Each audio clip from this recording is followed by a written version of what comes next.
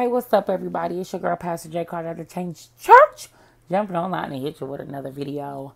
Before we get started with today's content, let's pray. Thank you, our Father, who art in heaven, for all the things you have done for us. Thank you for giving us a clear mind, clear understanding about every situation that we go through. Father God, allow us to see the blessing in it, allow us to see the lesson in it. In Jesus' name we pray, amen. Okay, guys, I have something to tell you guys that I have been holding on to far too long. And honestly, I did not know where to begin with this. So let's start with last night's church service. So I don't know when I'm going to post this, but um, last night was Friday, and there was a testimony service that I was asked to be a part of. And I'm a for real, for real preacher. I'm not a professional church goer. I know y'all probably like, what, what's that, Pastor? What is a professional? Um, I feel like a lot of times people tend to uh, go to church so much they forget the meaning behind it. They forget the reason why you go. They forget the kind of people that will be there. Um, and, you know, a lot of times it's judgment, it is ridicule, uh, ridicule um, all kind of just crazy things happen at church that if you ask me just should not be happening. But um, I'm not one of those professional church goers, okay? And so um, I said yes to this program because, um, one, I am, I don't want to say new as a pastor, but I do things a little differently, as you guys are able to tell. Just a little differently. And I'm okay with that. I'm okay with that. Uh, but when you go into somebody else's uh, service or you know event, you want to make sure that you're within their guidelines and things like that. So uh, I'm not a hooper. I can hoop, but I'm not a hooper. Uh, I'm not a holler. I'm not a squaller. These things I can do, but I only feel like it is necessary to be done when the Holy Spirit is really there, and or if you're unctioned by the Holy Spirit to use these kinds of theatrics. So I am more so a teacher. And I know you're probably like, what? I thought you was a pastor. Uh, well, let me explain. Um, it's very important for me to make sure people understand the things of God and the relationship with Him uh, versus, you know, church business. So it's important to me. That that's important to me. So I said yes to this program and I was not excited about the program and it was kind of weird because everybody else was super thrilled. Like on Facebook they were like, "Yes, I can't wait to testify." And I was like, you know, I'm good. But um but anyway, uh of course I go. I'm a woman of my word. If I if I say I'm to be there, I'm to be there. Um so I go and um I was supposed to jump up, you know, and, and give my testimony. But then it started to hit me like, I have so many. I have seen, uh, I've been promiscuous, like, I don't mean just like a little bitty whore. I mean, I was a hoe, okay? I don't mean a little bitty situation. Um, I won't count how many abortions or miscarriages that I've had. I won't count uh, a few times I found myself in places that I really shouldn't have been. And I'm not talking about the club, I'm talking about like ditches, hotel rooms, uh, with drugs around me, um, things that has happened to me. And so, even I've even um, witnessed uh, some very tragic uh, events uh, with gun violence and things of that sort. I've been through a lot in my little bitty age, guys, and um, so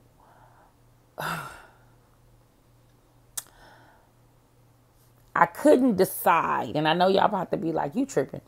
I couldn't decide which testimony to tell. And this is an honest to God situation.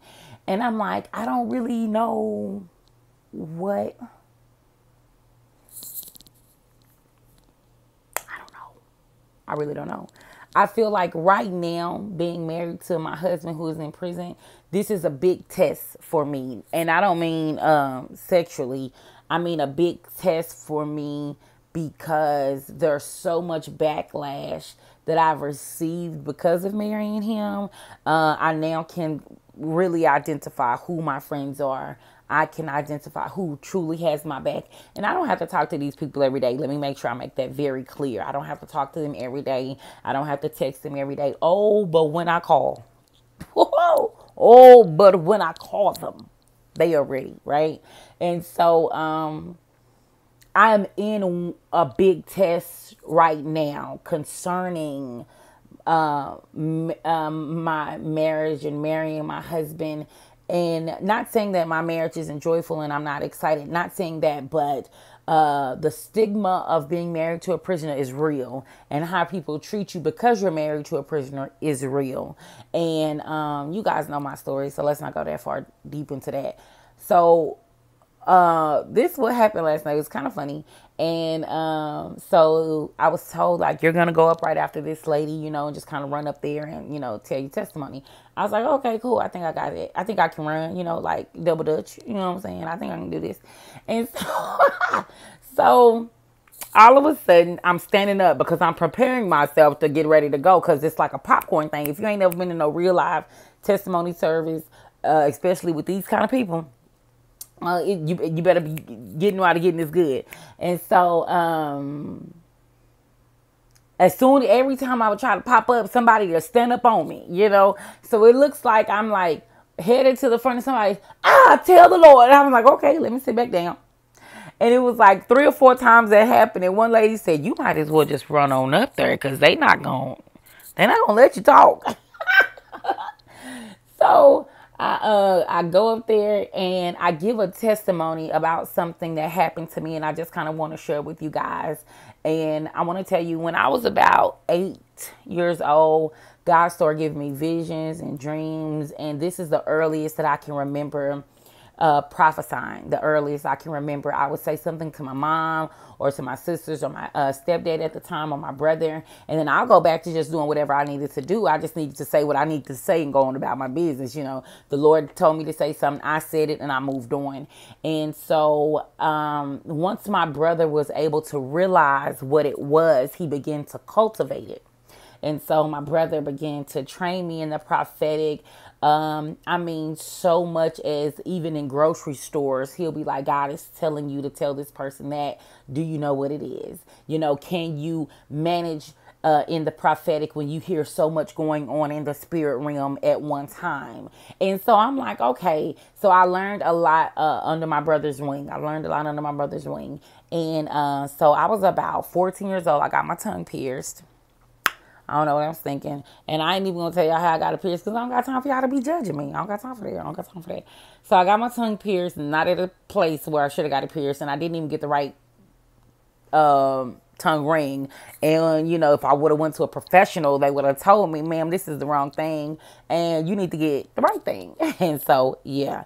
So I got the wrong thing. Anyway, the um, the tongue ring got stuck in my tongue. Like I had to, I had the tongue ring literally stuck in my tongue, and I had keloids building on my tongue, like ah, right here, right, ah, right here in my mouth, uh, on my tongue. And so, um, my mom is the type of mom that's like, listen, I didn't tell you to do that, so I'm not gonna pay to get it taken off. And I'm like, but mama, the ring is inside. Like it's inside. And it's it got so bad I started carrying like candy and gum because everybody like, oh, give me some candy. And I'm like, I want some candy. What's that in your mouth? This is the reason why I stopped singing. And so I used to sing in the choir. And y'all always hear me say, I can't sing. And that's really because I, I honestly believe that I did not allow my gift to be cultivated in that way um, because of the situation with my mouth. And so I could have even been younger than that. I could have been like 13. Nevertheless, um, I end up um, going to, I end up going, um, excuse me, to um, get this removed. like maybe 10 years later i'm like approximately 24 25 and i'm getting this thing removed off of my tongue and um everybody's like why would you do that? Now at this point i'm prophesying everywhere people uh and I'm everywhere not as in national but i'm saying you know like locally locally. And uh people like oh prophetess oh prophetess what is the lord is saying? People calling me on the phone and i'm just telling them what thus says the lord. I'm getting very comfortable and confident in my gift. I'm super excited about what's happening in my life. And so uh I, I want to go get the uh, the keloids removed off of my actual tongue. But remember, the ring is lodged in my tongue. Okay, remember that. Okay, guys. And so, um, anybody that know me from back then, y'all are more than welcome to comment and be like, "Yep, she's telling the truth, y'all."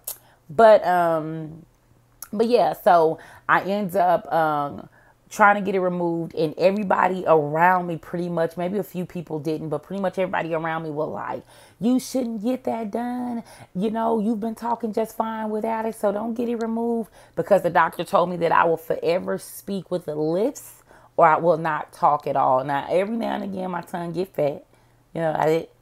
but there's no pain and if you ask me i speak very eloquently when I ain't being ratchet. So, so, um, as I was getting ready for surgery and prepping for the surgery, Romans 4 and 21 is what came to my mind. Romans 4 and 21. And it said, being fully persuaded that what he is what he has promised, he is also able to perform. And that is the scripture, Romans 4 and 21, that kind of led me into my surgery because I was almost at a point where allowing people to talk me out of being truly healed from something from my past. And there is absolutely, if you ask me, no residue, but you can still see just a little scar on my tongue.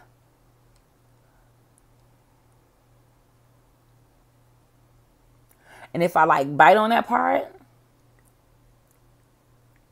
I can feel like um the the the part where they sewed it up together, I can I can feel it. They had to cut this part of my mouth. So it's shorter. I used to be able to reach my tongue, you know, to hear. And so here's the part of the testimony. I know y'all like Pastor. We, we it's a long video. I'm, I'm working. I'm working. I'm working. So but anyway, um, I end up getting the surgery done. They said, "Hey, man, you're not gonna be able to talk, or or if you do, it'll be with a lift." So I end up moving in with my mom because I had a toddler at the time. Papa was a toddler, and I did not want to be walking around screaming at no toddler, and I really couldn't talk. Didn't want that to happen. So I had like a notebook, I mean, uh, excuse me, like a dry erase board, and I'm writing on dry erase board, flipping it around, dry erase board, flipping it around, feeling real crazy, almost feeling as if the naysayers were like, hey, you know what I'm saying?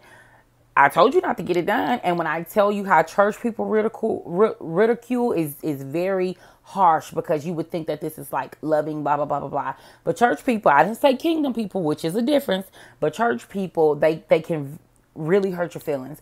And so, um, nevertheless, I got the thing removed and I moved back in with my mom so that way I didn't have to yell and scream at my kid and you know somebody could help me with my baby. And I'm laying in the bed in uh, the guest room at the time, laying in the bed, and uh, all of a sudden it felt like somebody was stabbing my tongue, like stabbing my tongue, stabbing my tongue. And I woke up in so much pain, y'all. I woke up in so much pain. Ran to my mom's room, mouth full of blood, and I'm like, "Mom!" And you know, you know, like mommy, my tongue's hurt. Somebody's killing me. It's like my tongue hurts so bad. And I'm just, when I mean screaming and, and just really in pain, just really in pain. Uh, my mom, I mean, mouth full of blood. Blood is everywhere. My mom is like, but Jackie, you're talking. And I'm like, huh? I was so caught up in the pain that I felt. This pain woke me up out of my sleep, man. And I ran to my mom and she was like, "But Jackie, you're talking." And I'm like, am. I be dang on. So I said all of that um, to say that, and I said this last night at the testimony service was that the enemy is not after what looks good and all of that other stuff. The enemy is after your gift, your purpose, the thing that makes you uh, um, uh, gifted, the thing that, that God has ordained you to do, your life's purpose, your life's mission, He's after that. And He's going to attempt to stunt that growth early on. It started as early as me being 14. And then even after I got the, the, the piercing done and I kind of moved along and did what I wanted to do throughout life, I was still able to prophesy even with this thing on my tongue, this keloid with the ring actually still inside of the tongue. Remember that, guys. And then so even with getting it removed, so many people were like, no, no, no, no, no, no, no, no, no. But I was fully persuaded that what the Lord had promised, He was able also to perform. And that scripture doesn't say that He does perform, it says that He's also able to perform. So that means even if he doesn't do it, I should be excited that he's able to do it. Everything he's promised, he's able to do. So I shouldn't just get excited at the results. I should be excited about the ability as well. But we're not going to preach to y'all. We ain't going to do that.